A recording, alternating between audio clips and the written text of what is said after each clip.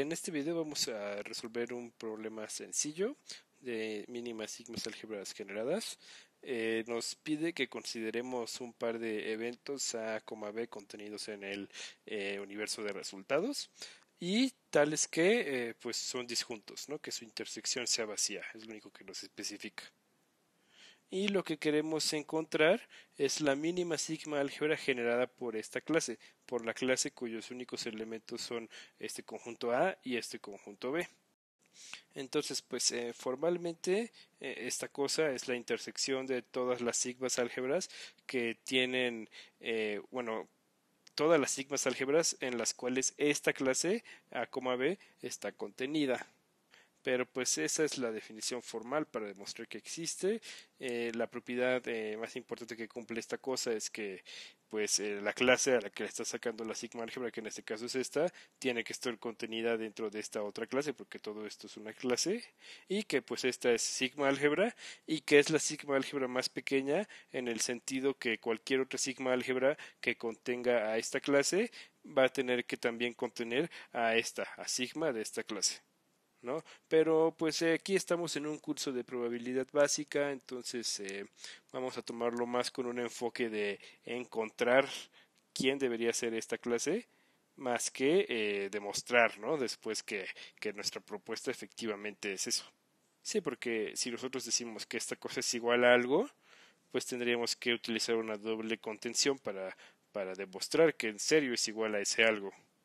Pero bueno, primero vamos a simplemente hallarla. Eh, nuestros conjuntos A y B son algo de este estilo. Tenemos un omega, que es el total, y tenemos dos conjuntos que no se intersectan, no tienen elementos en común. Eh, cuando tenemos dos disjuntos, pues eh, podemos notar que todo lo que se quedaba fuera de A y de B es el complemento de la unión de A y B. ¿no? O sea, todo lo que está fuera de esto y afuera de esto, o sea, todo esto que estoy señalando, es, lo podemos escribir como A unión B complemento. No es difícil eh, notar eso. Y eso eh, después nos va a servir. Eh, lo primero que tenemos que notar es que, como ya había mencionado hace unos minutos, esta clase A, B tiene que estar contenida en la generada de ella misma y esta contención es equivalente a decir que tanto A como B sean elementos de la mínima sigma álgebra generada de esta clase. Además, pues esta clase por definición tiene que ser una sigma álgebra. Entonces, eh, en particular, como es sigma álgebra, tiene que ser cerrada bajo uniones numerables eh, o, bajo uniones finitas también, ¿no? En particular. Entonces, algo que podríamos concluir inmediatamente es que A unión B o sea, la unión de estos dos elementos de esta sigma álgebra tiene que volver a caer en esa sigma álgebra. Y como esa sigma álgebra también tiene que ser cerrada bajo complementos, y aquí tenemos tres elementos de esa sigma álgebra, pues entonces los complementos de cada uno de esos tres elementos también van a ser elementos de la sigma álgebra, que en este caso serían A complemento, B complemento y A unión B complemento, que es esto que mencionábamos aquí, que también lo podemos reescribir por leyes de De Morgan como A complemento intersectado con B complemento. Estos tres conjuntos tienen que ser también elementos de la sigma álgebra, entonces ya llevaríamos y finalmente, también eh, algo que se puede demostrar es que cualquier sigma álgebra tiene como elementos tanto al total como al vacío. ¿no? que serían los que podrían faltar. Y digo podrían porque pues no nos especifican. Podría ser que justo se dé que A y B sean omega y vacío. ¿no? Eso, eso satisfacería que pues su intersección fuera vacía, ¿no? Sería un caso muy extremo, podría darse, pero pues en general, ya sea porque ya desde aquí desde aquí se tenía o que estos sí son distintos a estos dos y, no lo teníamos, pues sí eh, tenemos que asegurar que omega y vacío también sean elementos. Entonces, pues nuestra propuesta va a ser que esos ocho elementos que acabamos de analizar que tienen que estar forzosamente, pues van a ser justamente los ocho elementos que conformen esta sigma álgebra generada. La idea de una sigma álgebra es que sea una clase que sea cerrada bajo cualquier cantidad de operaciones de conjuntos numerable, ¿no? Entonces no es difícil pues empezar a unir, intersectar, hacer diferencias, sacar complementos entre estos ocho elementos y, y ver que siempre, siempre terminas llegando a uno de estos mismos ocho elementos como que después de un rato te convences de que pues esta cosa es cerrada bajo cualquier cantidad de operaciones de conjuntos cualquier cantidad numerable de operaciones de conjuntos entonces pues para el nivel de este curso pues sí sería pues ya una respuesta válida decir que simplemente esta mínima sigma álgebra generada es esto pero sí quiero recalcar que solamente se ha probado si acaso una contención porque esta igualdad representa dos contenciones porque son conjuntos. Pero como ya dije, por ahora nos vamos a centrar más en hallar a qué debería ser igual la mínima sigma álgebra generada por esta clase que en demostrar formalmente que pues se da la igualdad, ¿no? Que en realidad demostrar formalmente las dos contenciones que representan esta igualdad no es difícil, más que difícil es un poco tedioso, pero pues ya hacer esa clase de cuentas tan formales correspondería más a un segundo curso de probabilidad. Pero algo que sí eh, también quiero mencionar es que hay un método quizás un poco más eficiente de obtener que pues estos son los elementos eh, que tiene que tener esta sigma álgebra.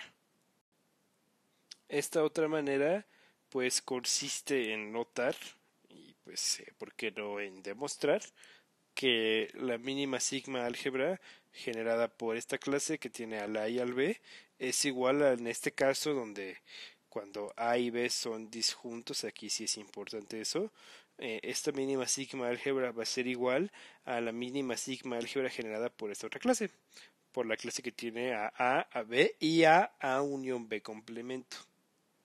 Y esto nos sirve porque esta otra clase resulta que es una partición de omega que de hecho pues en el esquema se veía, por eso desde el principio eh, hice esa observación, ¿no? Aquí está el A es un cacho de omega, el B es otro cacho y todo el sobrante pues es A unión B complemento, en este caso cuando son disjuntos. Ahorita vamos a ver cómo se utiliza esto de que esta clase sea partición. Primero vamos a ver que demostrar esto es muy sencillo. Pues es evidente que esta clase, la de la izquierda, está contenida en esta clase, ¿no? En la de la derecha, porque pues son los mismos elementos más este otro, ¿no? Entonces la contención es clarísima y pues eh, sabemos una de las propiedades que cumple la mínima sigma álgebra generada es que respeta contenciones, entonces la generada por esta clase va a tener que estar contenida en la generada por esta otra, ¿no? Esa sería la primera contención de esta igualdad. Y la, otra contención eh, también es sencilla de ver, porque como A y B son elementos de esta clase, pues van a ser elementos de la mínima sigma álgebra generada por esa clase y como es sigma álgebra cerrada bajo uniones finitas en particular y por lo tanto A unión B tiene que ser un elemento de esa clase. Ahora, como esta clase es una sigma álgebra, es cerrada bajo complementos, entonces el complemento de este elemento de A unión B también tiene que estar en esa clase. Por lo tanto, esta clase A, B y A unión B complemento van a estar contenidas en la sigma álgebra generada por esta clase. Porque pues evidentemente A y B ya están aquí y A unión B complemento acabamos de demostrar que también lo está, ¿no? Entonces toda esta clase está contenida en toda esta. Y entonces estamos diciendo que esta es una sigma álgebra que contiene esta clase. Por lo tanto, la sigma álgebra más pequeña que contiene esta clase, que es la mínima sigma álgebra generada por esa clase, pues va a tener que estar contenida en esta sigma álgebra. ¿no? En esta sigma álgebra que es más grande que esta clase, ¿no? Porque esta de aquí es la sigma álgebra más pequeña que contiene esta clase, debe estar contenida en cualquier otra sigma álgebra que contenga esa clase en particular en esta, ¿no? Entonces se da esta contención, que era la contención que nos faltaba para demostrar esta igualdad.